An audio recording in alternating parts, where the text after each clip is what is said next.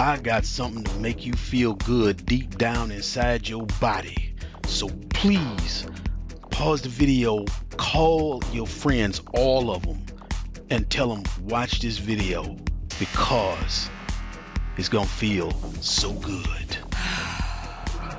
I was working with somebody recently and I saw where the filter function would help, but the filter function is gonna filter an entire data set what happens if we need to filter, but we don't, don't need every damn column header?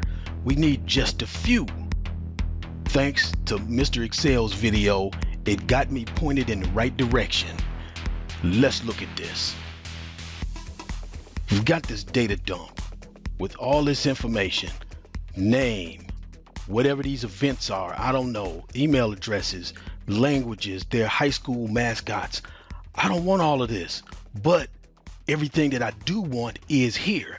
I want the name, I want the email address, the nearest airport, and their rate. That's all. And I want to filter this by the nearest airport. So how do we do this? I've got a drop down list with the airports. Here, let's look at that. That's Atlanta. And then we've got Phoenix, and the headers I want name, email, rate. Check this out. Here is the part that's going to feel so damn good. Equals, filter, open parentheses, and then choose. Open parentheses, open curly brackets. One, comma, two, comma, three. Close the curly brackets, comma I'm still inside the choose. Here we go.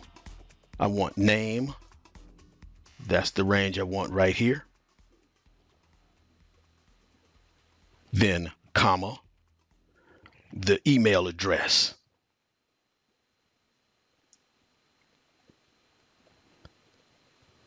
Comma, now the rate. Highlight. Close the choose, comma. That's telling filter the array that I want filtered. Now, what do I want to filter by? Where? Nearest airport.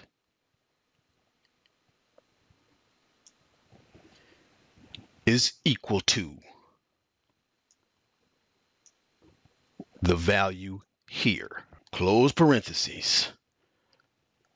Now watch out. We're going to go one, two, three, uh, and that's when we hit the enter button. Ready? One, two, three, uh. Woo! The two people who are nearest the Phoenix airport and only the data that we wanted. Can we verify it? Slide over. Let's go here data, filter,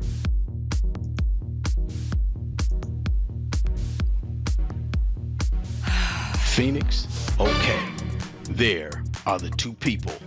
Clear that filter. Let's go back over here. Let's pick another airport. Who's nearest Las Vegas? LAS. Chloe, Sam, Corey and Philemon. There it is, folks. Filter and only retrieve the stuff we want and get all that other stuff out of the way. And that feels so damn good.